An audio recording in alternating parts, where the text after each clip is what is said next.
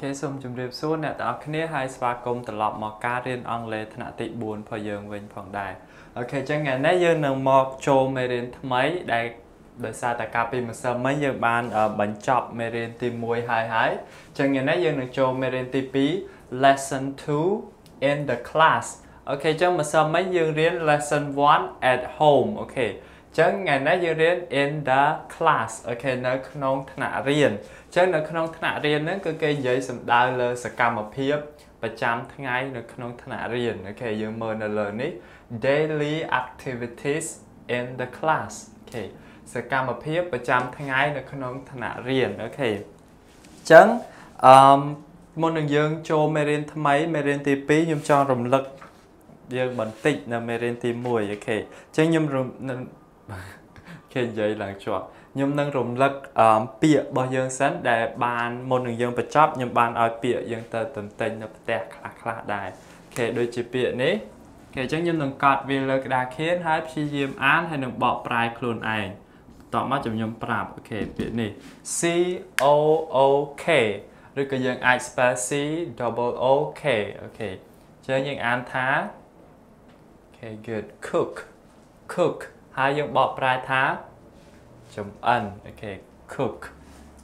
ពាក្យបន្ទាប់គឺពាក្យ D I G okay D I G ចឹងយើងអានថា okay dig dig យើងបកប្រែថាជីក okay dig ជីក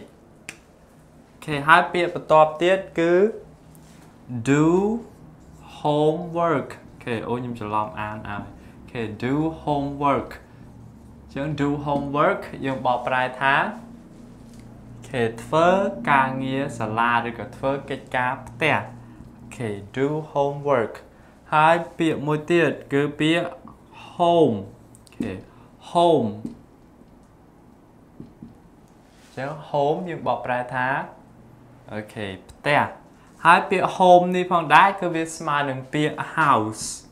អូខេ house ចឹងផ្ទះ sorry house ក៏បកប្រែថាផ្ទះហើយ home ក៏បកប្រែថាផ្ទះដូចគ្នាអញ្ចឹងយើងបើសិនជាសួរខ្ញុំថាពេលណាគេប្រើ home ពេលណាគេប្រើ house ពេលដែលអ្នកទាំងគ្នាចេះអង់គ្លេសទៅពេលយើងនិយាយដូចវាទៅខ្លួនឯងអូតូអូខេពេលយើងនិយាយទៅដូចវា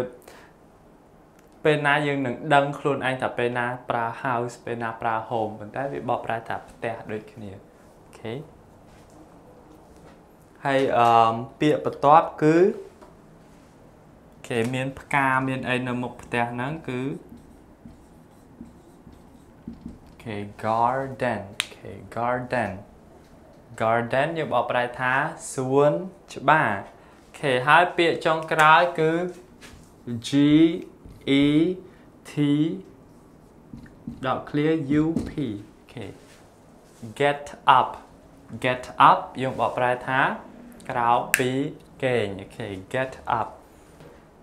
okay ម្ដងទៀត cook dig do homework home garden and get up អូខេអញ្ចឹងខ្ញុំសង្ឃឹមថាអ្នកទាំងគ្នានឹងចាំ ទាំងការ spell អូខេទាំងការប្រកបពាក្យហ្នឹងហើយនឹងទាំងការបកប្រែហើយនឹងអានផងដែរពីព្រោះអីខ្ញុំបានឲ្យយើងទៅទិញនៅផ្ទះហើយពាក្យទាំងអស់នេះគឺជាពាក្យដែលយើងប្រើប្រាស់ប្រចាំថ្ងៃបើសម្រាប់យើងខ្មែរយើងអត់សូវនិយាយអង់គ្លេសទេដោយសារអីយើងជាខ្មែរយើងនិយាយខ្មែររហូតអូធ្វើការធ្វើធ្វើ homework គេធ្វើការងារសាលាហើយក្រោកពីគេងចំអិនម្ហូបអីអីប៉ុន្តែពេលដែលថ្ងៃណាមួយ គ្រូរបស់យើងសួរឬក៏គ្រូរបស់យើងសន្ទនាតាក់ទងនឹងពាក្យទាំងអស់នេះអូខេខ្ញុំសង្ឃឹមថាអ្នកទាំងអស់គ្នាចាំហើយអាចយកវាមកប្រើប្រាស់បានអូខេហើយមួយទៀតបើសិនជាយើងចង់សួរនរណាម្នាក់ថាតើគាត់អាចធ្វើអានេះបានអត់ធ្វើអានោះបានអត់ជាភាសាអង់គ្លេសយើងអាចផ្ដើមដោយគេពាក្យ can you គេផ្ដើមសំណួរដោយពាក្យ can you គេ អូខេអញ្ចឹងកន្លែងទៅនេះយើងអាចប្រើពាក្យនេះបាន can you ហើយបន្ទាប់មកយើងដាក់មកបើយើងចង់សួរថាតើអ្នកអាចចម្អិនបានអត់ can you cook okay តើអ្នកអាចជីកដីបានអត់ can you dig okay អឬក៏តើអ្នកអាចអឺពេលតើអ្នកអាចធ្វើ homework បានអត់ធ្វើការកិច្ចការសាលាបានអត់ okay អញ្ចឹងយើងដាក់ can you do homework okay តើអ្នកអាចធ្វើកិច្ចការសាលាបានអត់ okay អញ្ចឹងយើងអាចប្រើប្រយោគមួយនេះបានពេលដែលយើងចង់ដឹងថាតើគាត់អាចធ្វើបានអត់ហើយបើសិនជាមាននរណាម្នាក់សួរយើងនៅសំណួរមួយនេះបើយើងអាចធ្វើបានយើង confirm ដោយប្រើពាក្យ yes okay I can okay yes I can បាទចាខ្ញុំអាចធ្វើបានឬក៏បើយើងអត់អាចធ្វើបានទេយើងនិយាយមក no I cannot ឬក៏ I can't okay no I cannot ឬក៏ no I can't អូខេអញ្ចឹងអានេះមេរៀនទី1របស់យើងយើងរំលឹកតែប៉ុណ្ណឹងហើយថ្ងៃនេះយើងនឹងចូលមេរៀនទី2របស់យើង lesson 2 in the class គេនៅក្នុងថ្នាក់រៀនគេអញ្ចឹងចំណុច A របស់យើង គឺជាការសន្ទនាទៀតហើយ បើសិនជាណាគេមានសភៅបើចាំកត់ទេប៉ុន្តែបើអត់មានសភៅទេសូមកត់តាមខ្ញុំទាំងអស់គ្នាហើយខ្ញុំនឹងកត់វាលើក្តារខៀនឲ្យ okay a conversation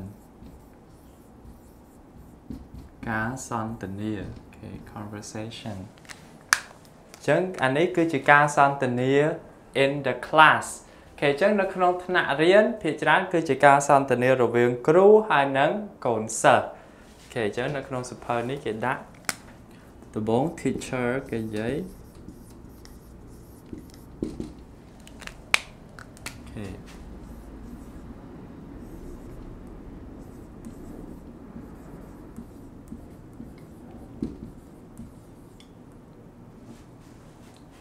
ចឹងខ្ញុំកត់ ព្យាយាមអានហើយនឹងព្យាយាមបកប្រែខ្លួនឯងពីព្រោះពាក្យទាំងអស់នេះគឺសិតតែពាក្យដែលយើងធ្លាប់បានរៀនហើយហើយហេបន្ទាប់ពី teacher ក៏និយាយហើយកូនសិស្សគេនិយាយម្ដង students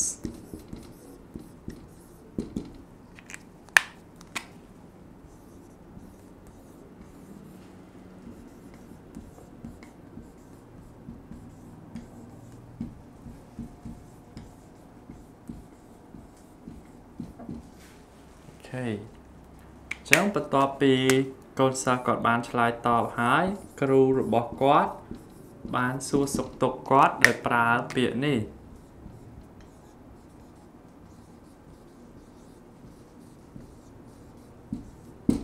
អូខេនេះហើយបន្ទាប់មកកូនសិស្សក៏បានឆ្លើយតបវិញ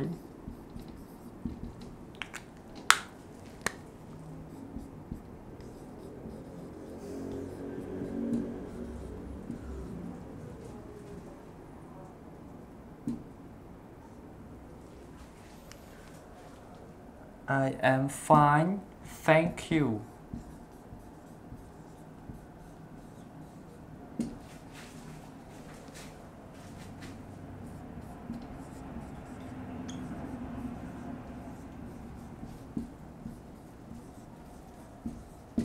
How about you?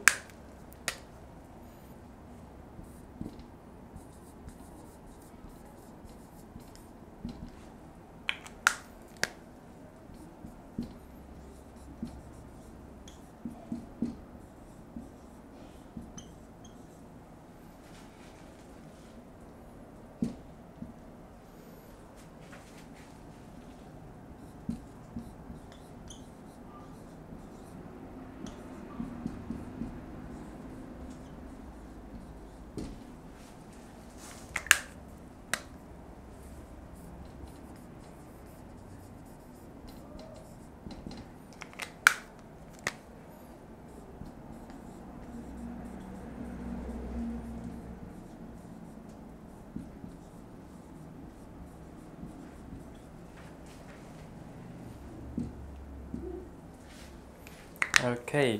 ចឹងយើងអាចមើលអឺប្រយោគនេះបានដំបូងគ្រូរបស់គាត់គឺស្វាគមន៍កូនសិស្សដោយប្រើពាក្យនេះ okay Good morning okay គាត់ដើរចូលមកគាត់និយាយ Good morning everyone okay Good morning everyone ហើយកូនសិស្ស students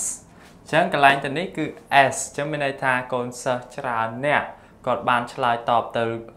គ្រូរបស់គាត់វិញ Good morning teacher okay Good morning teacher ហើយគ្រូរបស់គាត់បានសួរសុខទុក្ខដោយប្រើពាក្យ How are you okay How are you តើអ្នកសុខសប្បាយជាទេ okay ហើយកូនសិស្សរបស់គាត់បានឆ្លើយមកវិញ I am fine thank you okay I am fine thank you How about you okay How about you ចុះអ្នកវិញ okay ចុះអ្នកវិញកន្លែងទៅនេះ ចង់សំដៅលើគ្រូរបស់គាត់ចុះលោកគ្រូវិញឬក៏ចុះអ្នកគ្រូវិញតើសុខសប្បាយអត់ okay ហើយបន្ទាប់មកទៀតគ្រូរបស់គាត់បានឆ្លើយថា I am fine too ខ្ញុំក៏សុខសប្បាយដែរ Please sit down okay Please sit down សូមអង្គុយចុះហើយកូនសិស្សរបស់គាត់និយាយ Thank you teacher អូខេអញ្ចឹងយើងអាចមើលឃើញបានដំបូងពេលគាត់ជួបគ្នានៅពេលព្រឹកគាត់ប្រើពាក្យ Good morning អរុនសួស្តីអូខេសម្រាប់គ្រូដូចខ្ញុំ Good morning everyone អរុនសួស្តីអ្នកទាំងអស់គ្នាហើយកូនសិស្សក៏ឆ្លើយតបមកវិញ Good morning teacher អរុនសួស្តីលោកគ្រូឬក៏អរុនសួស្តីអ្នកគ្រូកន្លែងទៅនេះពាក្យ teacher គឺយើងបកប្រែថាលោកគ្រូឬក៏អ្នកគ្រូមិនអឺពេលគ្រូបង្រៀនប្រុសយើងហៅ teacher ពេលគ្រូបង្រៀនស្រីយើងហៅ cher មិនអញ្ចឹងទេណា okay អញ្ចឹងកាលខ្ញុំនៅរៀនរៀងទូចទូចដែរមិត្តភក្តិខ្ញុំប្រាប់អញ្ចឹងបើគ្រូប្រុសយើងហៅ teacher ហើយបើគ្រូស្រីយើងហៅ cher okay ប៉ុន្តែមិនមែនទេអាហ្នឹងគឺខុស teacher គឺសំដៅលើគ្រូប្រុសហើយនិងគ្រូស្រី okayហើយបន្តមកទៀតសួរសុខទុក្ខដោយប្រើពាក្យ how are you តើអ្នកសុខសប្បាយជាទេ I am fine ខ្ញុំសុខសប្បាយទេ Thank you អរគុណ and sorry how about you ចុះអ្នកវិញ I am fine too ខ្ញុំក៏សុខសប្បាយដែរ Please sit down សូមអង្គុយចុះ Thank you teacher អរគុណអឺអ្នកគ្រូដោយសារអីក្នុងរូបភាពរបស់យើងគឺជាគ្រូស្រីអូខេនេះយើងមើលទាំងអស់គ្នាអូខេ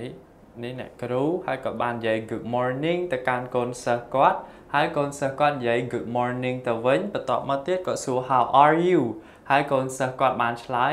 I'm fine ឬក៏ I am fine thank you ហើយកូនសិស្សគាត់សួរគាត់វិញគាត់ fine too បន្ទាប់មកគាត់ឲ្យ sit down អូខេចឹងយើងមើលអានេះគឺជាការសន្ទនានៅក្នុងថ្នាក់រៀនអូខេអញ្ចឹងបើសិនជាអឺលោកគ្រូអ្នកគ្រូឬក៏អឺកូនសិស្ស មើលវីដេអូដែលខ្ញុំកំពុងបរៀននេះខ្ញុំសង្ឃឹមថាអាចប្រើវាបានពេលដែលយើងដល់ម៉ោងបរៀនអង់គ្លេសគ្រាន់ចូលទៅក្នុងថ្នាក់ពេលព្រឹក Good morning everyone អរុនសួស្តីអ្នកទាំងអស់គ្នាហើយកូនសិស្សអរុនសួស្តីវិញហើយយើងសួរសុខទុក្ខគ្នាទៅវិញទៅមកអាហ្នឹងជារបៀបដែលយើងគោរពគ្នាអូខេហើយនឹងមានតំណតំណងល្អដែរពេលដែលយើងចេះសួរសុខទុក្ខគ្នាអូខេ ហើយឥឡូវនេះខ្ញុំសូមថាតាមខ្ញុំទាំងអស់គ្នាសិនមកខ្ញុំដឹងថាអាចអានបានហើយពីព្រោះពាក្យទាំងអស់នេះគឺយើងសិតតែធ្លាប់រៀនហើយខ្ញុំបានបកប្រែឲ្យដូចគ្នាប៉ុន្តែខ្ញុំចង់ឲ្យថាតាមខ្ញុំដើម្បីឲ្យមានវគ្គមាន clear អូខេ Good morning everyone Good morning teacher How are you I am fine. Thank you. How about you? I am fine too. Please sit down. Okay. Thank you, teacher. Okay, good. ចឹងអឺឥឡូវនេះសូមថាតាមខ្ញុំម្ដងទៀតបន្ទាប់មកយើងនឹងសន្ទនាគ្នាទាំងអស់គ្នា ខ្ញុំជាគ្រូហើយអ្នកទាំងអស់គ្នាគឺជា students sir Okay good morning everyone Good morning teacher How are you I'm fine sorry I am fine thank you how about you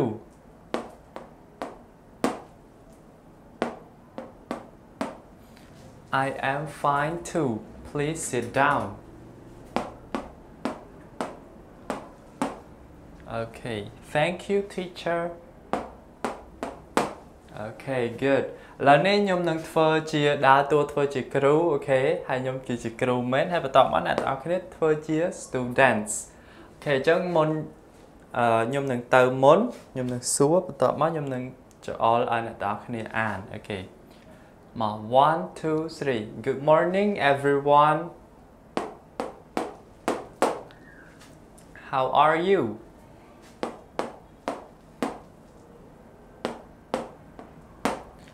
I am fine too. Please sit down. Okay good អញ្ចឹងអឺចំណុច A របស់យើងគឺមានតែប៉ុណ្្នឹងឯងហើយអឺបើសិនជា យ៉ាបើល្អខ្ញុំលើកទឹកចិត្តឲ្យលោកគ្រូអ្នកគ្រូដែលត្រូវបរៀនអង់គ្លេសដូចមានថ្នាក់ទី4ទី5និងទី6អញ្ចឹងពេលលោកគ្រូអ្នកគ្រូអឺចូលទៅក្នុងថ្នាក់ពេលព្រឹកអីអឺអាចនិយាយ good morning ហើយនឹងសួរសុខទុក្ខដោយប្រើពាក្យ how are you ទៅកាន់ពួកគាត់ហើយបរិញ្ញាពួកគាត់ឲ្យចេះនិយាយ I am fine អូខេហើយនឹង thank you ហើយឬក៏បើកន្លែងទៅនេះវារឿងវែងពេក how about you ឬក៏យើងខ្ជិលនិយាយ how about you យើងគ្រាន់តែដាក់ and you ចុះអ្នកវិញប៉ុណ្ណឹងក៏បានដែរOkay អញ្ចឹងអឺចំណុច A របស់យើងមានតែប៉ុណ្ណឹងឯងហើយយើងនឹងចូលចំណុច B ទាំងអស់គ្នាដែលចំណុច B របស់យើងគឺ pair work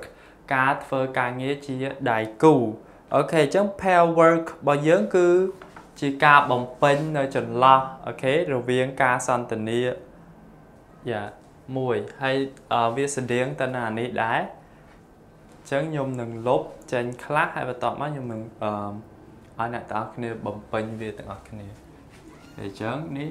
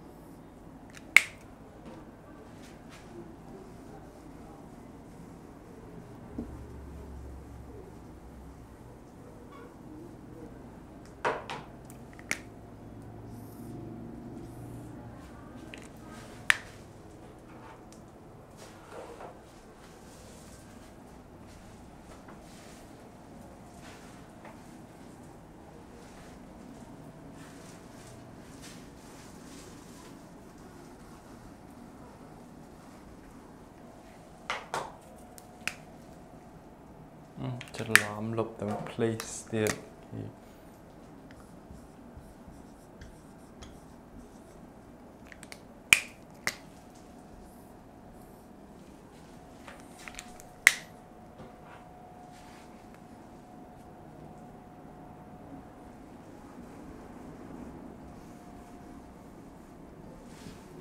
គេចឹងវារឿងច្រើនតិច ប៉ុន្តែអត់អីទេខ្ញុំមានវិធីងាយស្រួលដើម្បីឲ្យអ្នកទាំងគ្នាបំពេញ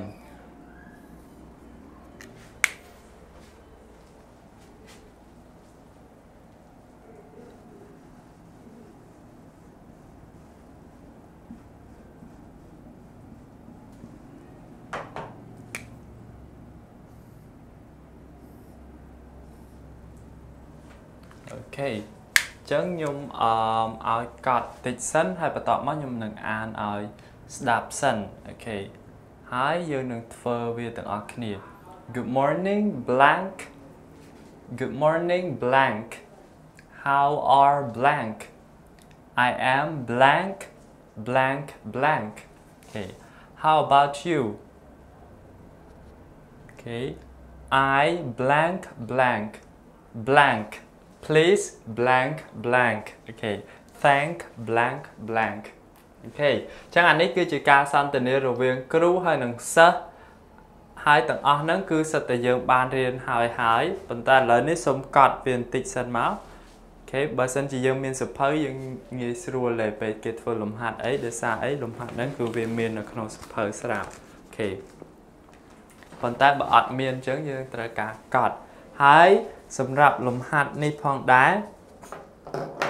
ខ្ញុំនឹងអានអូខេខ្ញុំនឹងអានប្រយោគពេញរបស់វាហើយអ្នកទាំងអស់គ្នាចាំបំពេញនៅពាក្យដែលអឺខ្វះខាតដូចឧទាហរណ៍ខ្ញុំឧទាហរណ៍ឲ្យមួយខ្ញុំអាន Good morning everyone អូខេអញ្ចឹងអ្នកទាំងអស់គ្នាឃើញអានកន្លែងនេះគឺដាក់អីគេ គឺពាក្យ everyone អូខេហើយខ្ញុំនឹងអានមកទៀតហើយអ្នកទាំងអស់គ្នាឮពាក្យអីដាក់មកOkay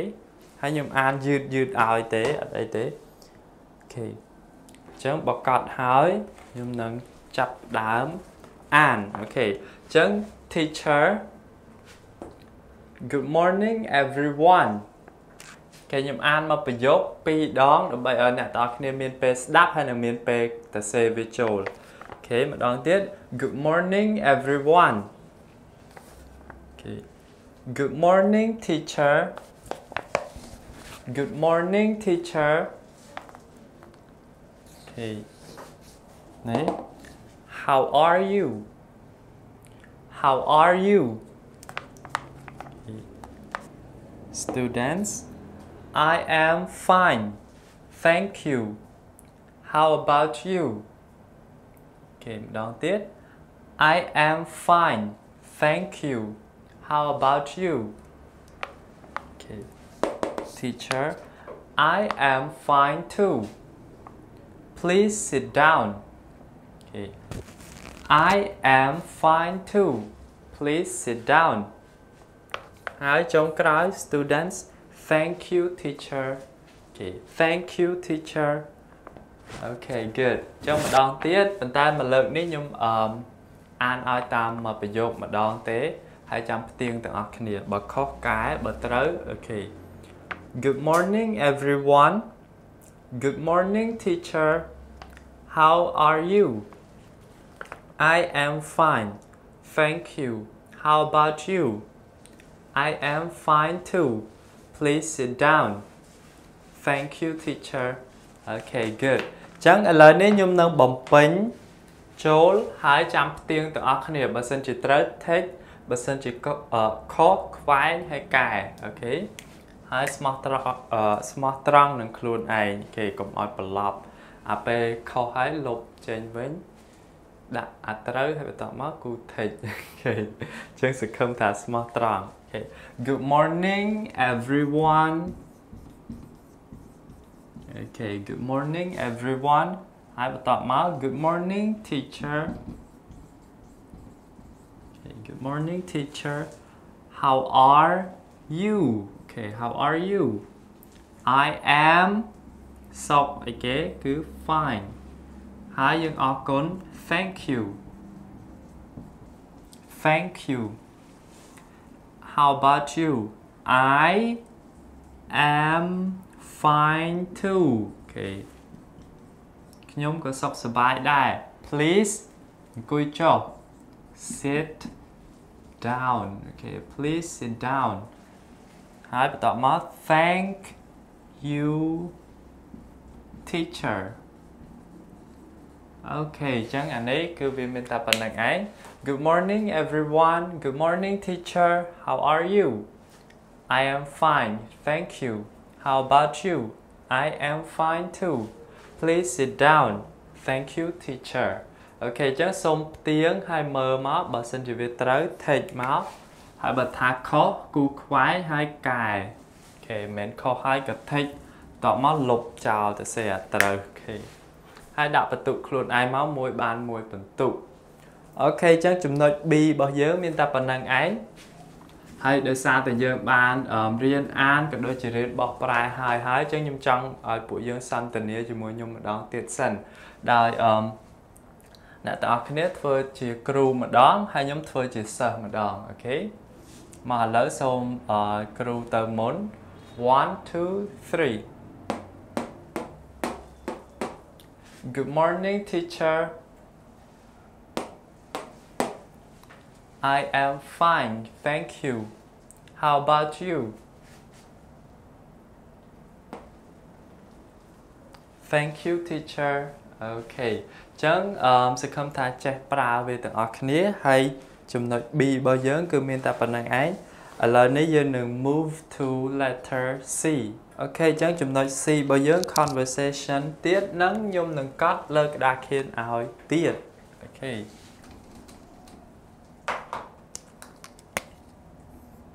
C តែកន្លែងទៅនេះគឺ conversation រវាង Bona and Rina អូខេអញ្ចឹងយើងលុប teacher ហើយនឹង students ចោល ចង់លុបសោះ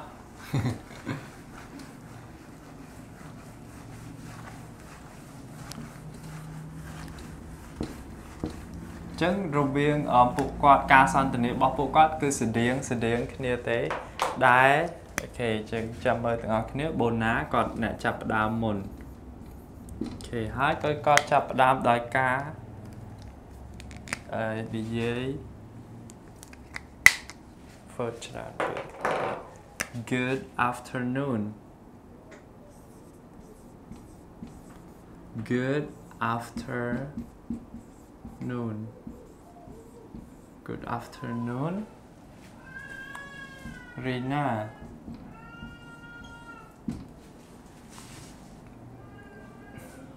បន្តមកទៀតរីណាក៏និយាយទៅកាន់អឺបូណាវិញ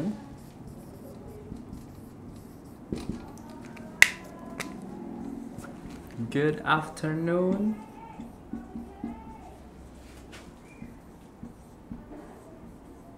Bona Okay good afternoon Bona ហើយ Bona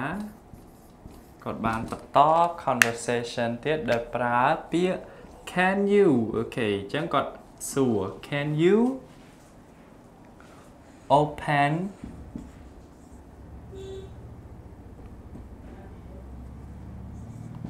can you open your book okay can you open your book អញ្ចឹង open យើងបានរៀនហើយហើយ open គឺបើកអូខេ open បើកអញ្ចឹង your book សិភៅរបស់អ្នក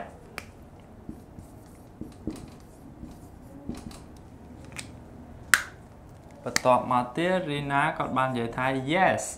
I can ចាខ្ញុំអាចបើកបានហើយបន្ទាប់មកទៀតបូណាគាត់សួរទៀតដែលប្រើពាក្យ can you ដដែលអូខេ can you read can you read this conversation okay can you read this conversation ចឹង conversation ខ្ញុំបានបកប្រែឲ្យហើយគឺការសន្ទនា can you read this conversation តើអ្នកអាចអានការសន្ទនានេះបានអត់ Okay ហើយរីណាក៏បានឆ្លើយមកវិញ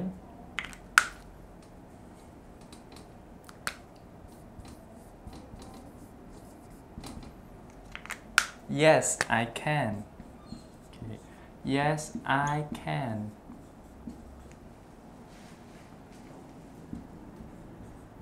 Please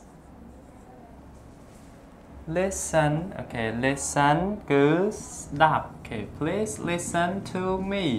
សូមស្ដាប់ខ្ញុំអញ្ចឹងស្ដាប់គាត់ធ្វើអីគឺស្ដាប់គាត់ read this conversation អូខេឥឡូវនេះខ្ញុំនឹងអានឲ្យស្ដាប់សិនហើយខ្ញុំបកប្រែឲ្យម្ដងមួយប្រយោគអូខេអញ្ចឹង oh wait ខ្ញុំទុកពេលឲ្យអឺអ្នកទាំងអស់គ្នាកត់វាបន្តិចសម្រាប់អ្នកដែលអត់មានអឺ សម្រាប់អ្នកដែលអត់មានសភៅពុំហ្នឹងយើងអាចកត់បាន ហើយព្យាយាមរៀនអានវាតិចសិនមកតបមកខ្ញុំនឹងអានហើយបកប្រែឲ្យ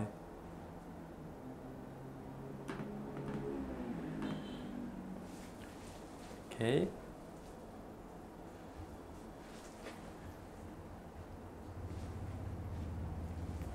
Okay. ចឹងនេះ Good afternoon Rina អូខេហើយ Rina ក៏បាននិយាយថា Good afternoon Bona អញ្ចឹង Good afternoon ហ្នឹងគឺយើងប្រើមិនមែនពេលព្រឹកទេអូខេបើពេលព្រឹកព្រលឹមយើងប្រើ good morning ប៉ុន្តែ good afternoon យើងប្រើចន្លោះដូចរបៀបម៉ោង10 11 12ម៉ោង1ម៉ោង2អីហ្នឹងយើងប្រើ good afternoon អូខេហើយអានេះជាខ្មែរខ្ញុំផ្លេចបកប្រែបាត់ហើយដោយសារតែខ្មែរយើងអត់ដែលប្រើអឺ ពួកសេរីចឹងទេគេយើងគ្រាន់ជួបគ្នាសួស្ដីអីប៉ុណ្្នឹងឯងគេប៉ុន្តែអានេះខ្ញុំដឹងតែពេលវាប្រើគឺចន្លោះពេលម៉ោង10 11 12ម៉ោង1ម៉ោង2អីហ្នឹងយើងអាចប្រើ good afternoon Okay អញ្ចឹងពួកគាត់ជួបគ្នាពេលម៉ោងហ្នឹងគាត់ប្រើ good afternoon Rina Okay ហើយ Rina គាត់និយាយវិញ good afternoon Bona Can you open your book Okay can you open your book តើអ្នកអាចបើកសៀវភៅរបស់អ្នកបានអត់ Okay Yes I can ចាខ្ញុំអាច Can you read this conversation តើអ្នកអាចអានការសន្ទនាមួយនេះបានអត់បន្តមកអឺរីណាក៏និយាយ Yes I can please listen to me ចាខ្ញុំអាចអានបានសូមអឺសូមអីគេអឺ ស្ដាប់ខ្ញុំអូខេសូមស្ដាប់ខ្ញុំ Yes I can សូមស្ដាប់ខ្ញុំអូខេចឹងឥឡូវនេះសូមថាតាមខ្ញុំទាំងអស់គ្នា Good afternoon Rina okay. Good afternoon Bona Can you open your book Yes I can Okay Can you read this conversation Yes, I can. Please listen to me. Okay, good. ចឹងពេលដែលយើងជួបគ្នាកន្លងម៉ោង9 10អា10 11 12ម៉ោង1ម៉ោង2អីហ្នឹងយើងអាចប្រើពាក្យនេះបាន Good afternoon ឬក៏បើយើងខ្ជិលនិយាយពាក្យ Good afternoon យើងគ្រាន់តែនិយាយ hello អូខេចឹងប៉ុណ្ណឹងមកបន្តមកទៀតបើយើងសួរយើងចង់សួរមិត្តភ័ក្ដិយើងថាតើអាចធ្វើអានេះបានអត់ធ្វើអានោះបានអត់យើងអាចផ្ដើមដោយ can you ដូចជាបូណាគាត់សួរទៅរីណា can you open your book តើអ្នកអាចបើកសភៅរបស់អ្នកបានអត់គេអញ្ចឹងពេលខ្លះអឺគ្រាន់បើកសភៅណាគេក៏ចេះធ្វើដែរក៏អាចបើកបានដែរប៉ុន្តែគឺយើងត្រូវសួរគាត់ ថាចង់ដឹងតើគាត់អាចបើកហើយគាត់អាចអានបានអត់ចង់ដឹងតើគាត់ដូចរបៀបពេលខ្លះគាត់ level ទៅគាត់អត់អាចបើកបានទេអូខេគាត់ធ្វើអីផ្សេងអីចឹងទៅអញ្ចឹងយើងសួរគេសិន Can you open your book តើអ្នកអាចបើកសៀវភៅរបស់អ្នកបានអត់ Okay yes I can ចាខ្ញុំអាច Okay can you read this conversation តើអ្នកអាចអានការសន្ទនានេះបានអត់ Okay yes I can ចាខ្ញុំអាច please listen to me សូមអឺស្ដាប់ខ្ញុំ Okay ចឹងអឺឥឡូវនេះយើងនឹងធ្វើការសន្ទនាគ្នាខ្ញុំនឹងធ្វើជា Bona ហើយអ្នកតើគ្នាធ្វើជា Rina អូខេរាប់1អឺ wait 1 2 3 Good afternoon Rina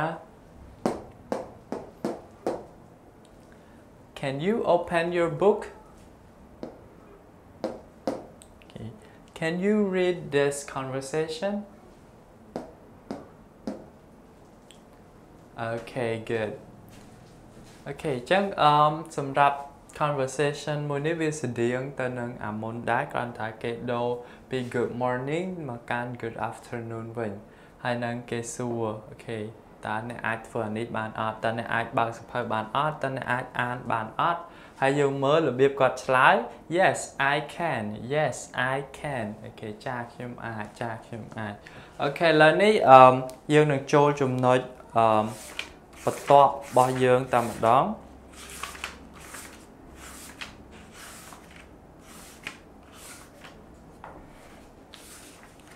ដែលចំណុចបន្ទាប់របស់យើងគឺវាតភ្ជាប់ទៅនឹងចំណុច C នេះឯង Okay ដែលគេនឹងលុបហើយគេឲ្យអ្នកទាំងអស់គ្នាបំពេញវា Okay Good afternoon Rina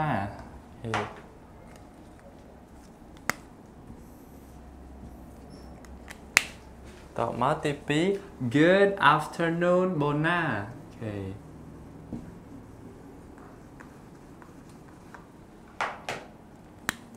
Good afternoon, Bona.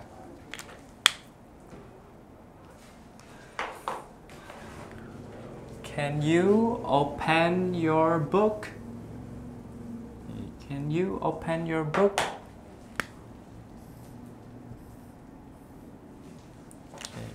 Dogma, yes, I can.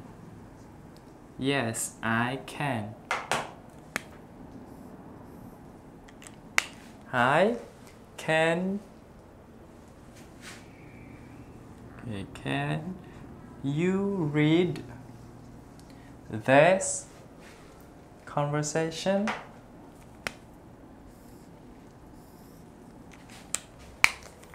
Okay. Yes I can. Please listen to me.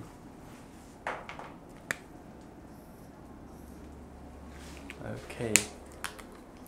ចឹងខ្ញុំទុកពេលឲ្យ1នាទីក្នុងការកត់វា ហើយបន្តមកទៀតខ្ញុំនឹងអានយើងធ្វើដោយអាមុនដែរខ្ញុំនឹងអានហើយឲ្យអ្នកទាំងអស់គ្នាគឺជាអ្នកបំពេញបន្ទាប់មកយើងនឹងផ្ទៀងវាទាំងអស់គ្នា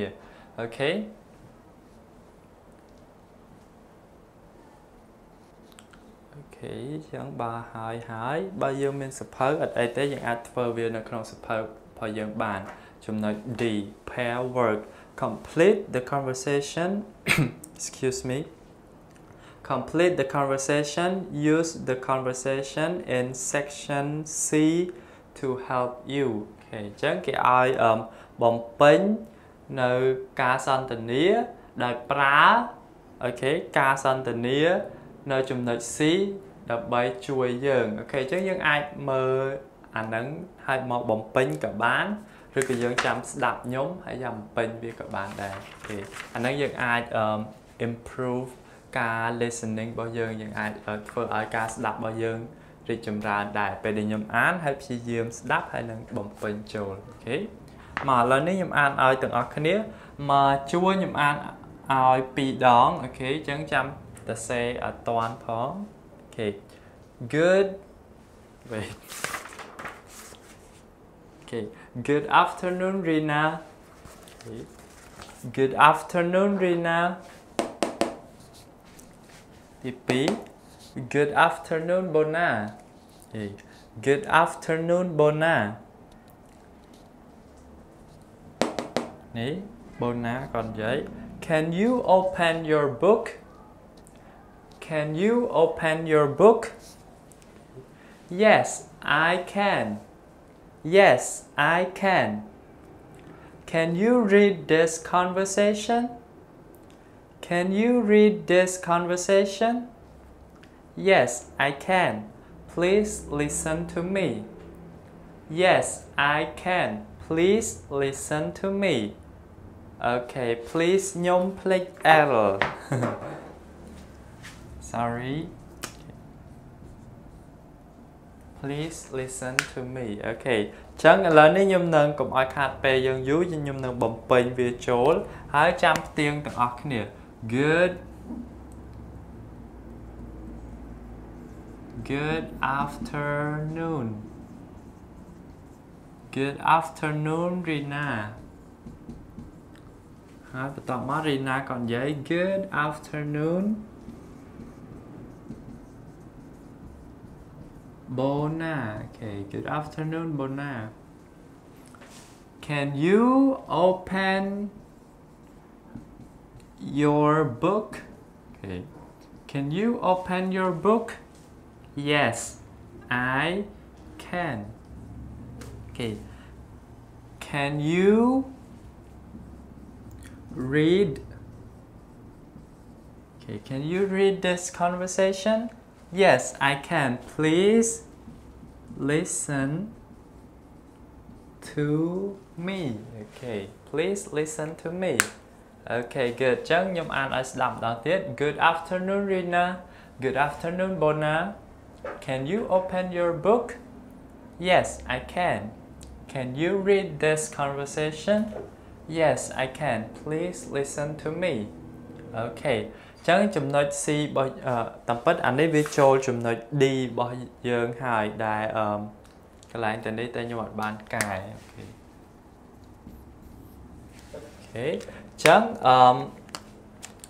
មេរៀនរបស់យើងខ្ញុំសូម slash ត្រឹមចំណុច D របស់យើងសិនហើយអឺសូមផ្ទៀងហើយនឹងកែដោយខ្លួនឯងដូចអាមុនរបស់យើងដែរអញ្ចឹងណាបើសិនជាត្រូវយើង take មកហើយបើសិនជាខុសយើងដាក់ខ្វែងហើយយើងកែពាក្យនឹងមកអូខេកែកន្លែងដែលយើងខុសនឹងហើយមួយឲ្យខ្លួនឯងមកបន្ទុកមកបន្ទុកអូខេអញ្ចឹងខុសមួយដកមួយទៅអូខេ យើងរាប់អាកន្លែងនេះ1 2 3 4 5 6 7 8 9 10 11 12 13 and 14អញ្ចឹង10ទាំងអស់14បន្ទុកបើខុសមួយដកមកបន្ទុកមកអូខេអញ្ចឹងថ្ងៃហ្នឹងមានតែប៉ុណ្្នឹងទេបើសិនជាមានសំណួរអាចសួរនៅក្នុង comment របស់យើងបានហើយបើសិនជាអត់តាន់ឬក៏អត់អឺ ខ្ញុំបញ្យល់លឿនពេកត្រង់ចំណុចណាអាចសារវាត្រឡប់មកក្រោយវិញបានបន្ទាប់ពីចប់ការ live អូខេអញ្ចឹងអឺជម្រាបលាជួបគ្នានៅសប្តាហ៍ក្រោយ